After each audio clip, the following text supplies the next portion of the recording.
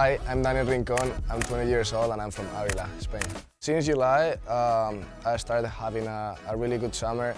I reached three semifinals in a row, uh, then another quarterfinals, and now this is my fifth quarterfinal in my, in my last five tournaments. Uh, so yeah, it's been an amazing summer and I hope to continue this way.